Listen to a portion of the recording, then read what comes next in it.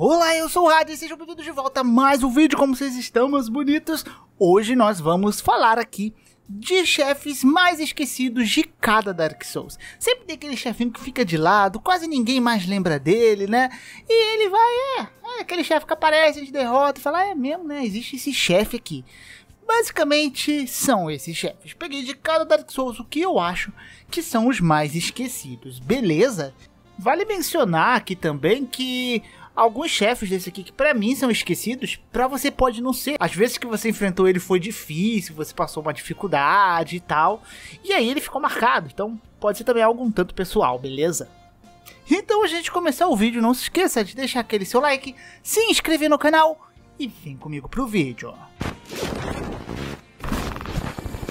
Vamos começar com o chefe mais esquecido de todos, que é o zoando, tá? Vamos começar com o Demon Soul, certo aqui. E eu acredito que os chefes mais esquecidos, os dois mais esquecidos para mim, ficam ali naquela zona do vale.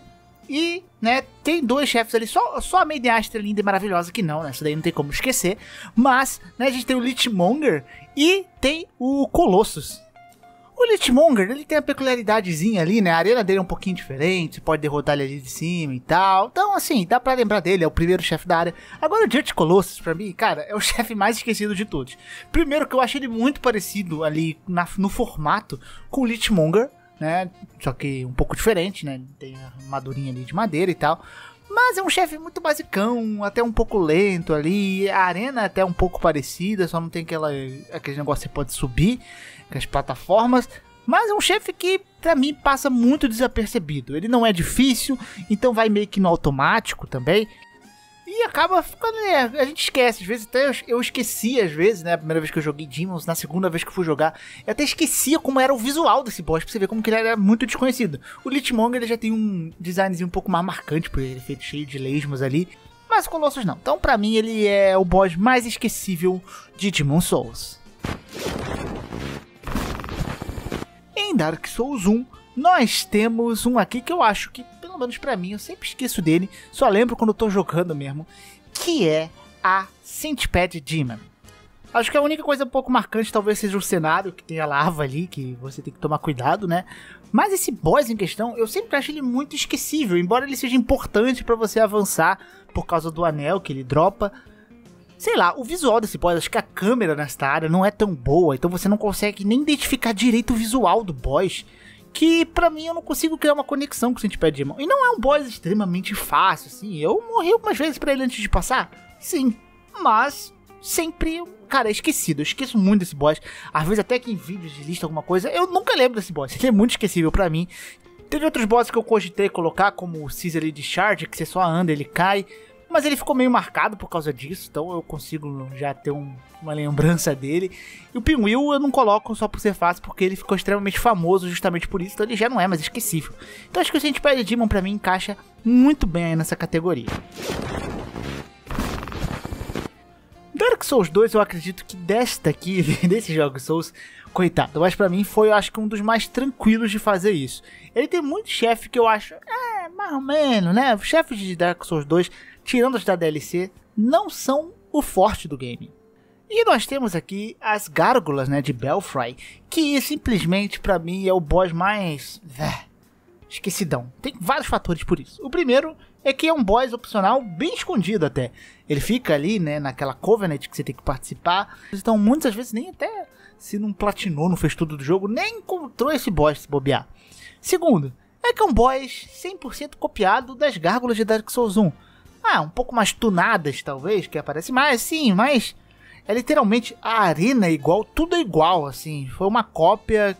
Não sei se eles quiseram fazer uma vibe ali, até a gente tem o Dragon Slayer, por exemplo, pra também fazer um fanservice, mas eu não curto muito não esse fanservice aí.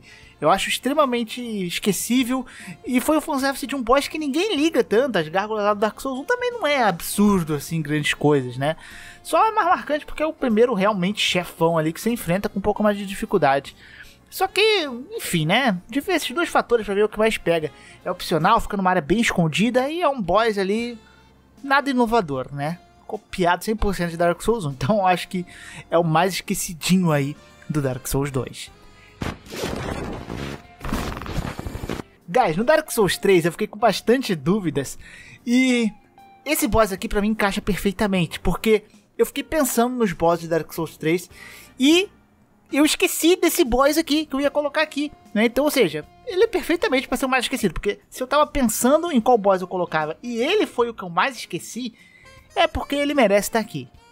Que é o Guardião do Túmulo, né? E o Grande Lobo, que é um chefe que aparece depois, né? Ele fica na DLC de Ariandel, que para mim é a DLC mais fraquinha do jogo Souls, né? Embora Fruit seja um baita de um boss, em compensação a gente tem esse outro boss que é muito, meh, ele é bem esquecível né? Embora ele seja meio que importante se você quiser fazer a nova arena de PVP que tem no jogo, né? você precisa derrotar esse boss.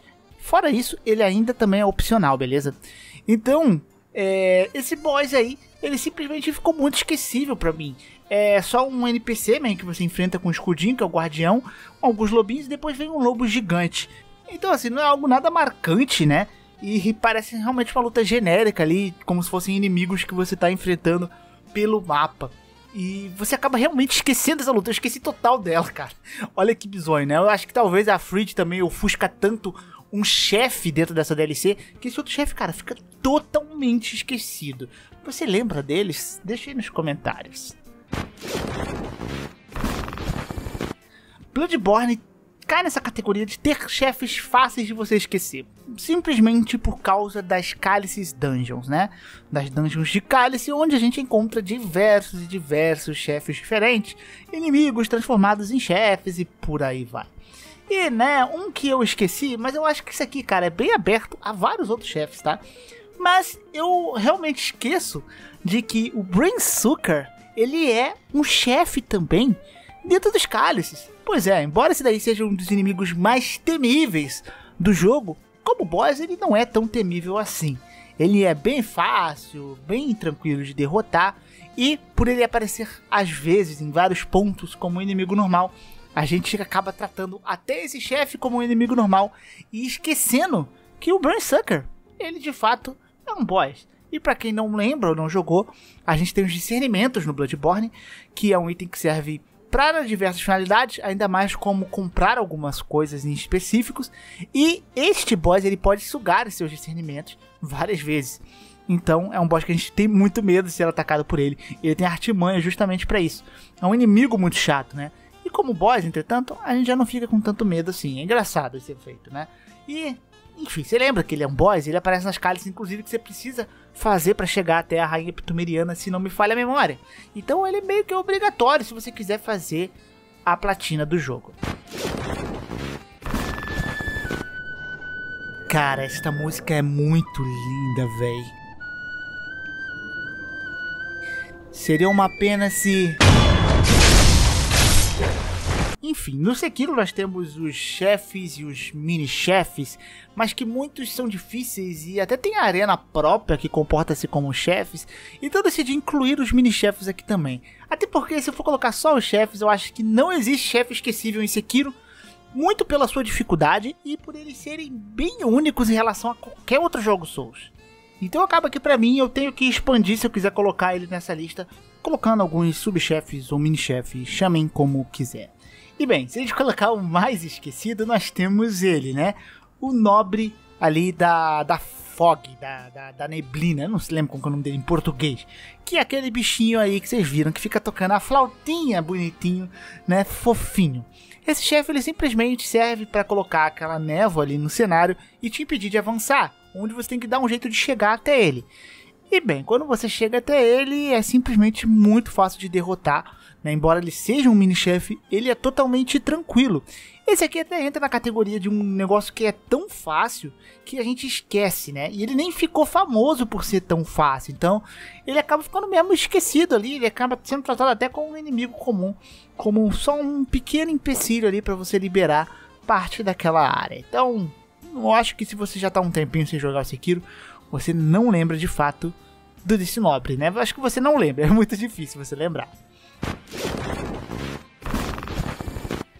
Vamos por, acho que é o mais difícil de fazer isso, que é o Elder Ring. Porque o Elder Ring, assim como o Bloodborne, só que numa escala muito maior, ele tem muito chefe. E muito chefe que é inimigo, que vira boss, que enfim, né? Aí eu acabei usando um pequeno filtro para isso. O que eu fiz aqui? eu limitei a chefes de dungeon legada. Que são aquelas dungeons mais principais do jogo, né? Como a gente tem Raya Lucaria, a gente tem Leidel, enfim, né? Entendeu? Né? Aquelas áreas mais. ali onde geralmente os bosses principais estão localizados. Então eu decidi limitar a isso.